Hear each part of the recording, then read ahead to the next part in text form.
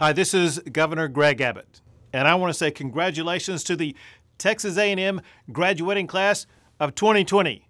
Gig 'em Aggies! You know, your family is extremely proud of you at this moment. You cannot imagine the sense of joy they are feeling right now. So now would be a great time to ask for money. You know, graduations, they sometimes refer to Robert Frost's poem, The Road Not Taken. Well, for once, it's true. The class of 2020 has taken a road never taken before.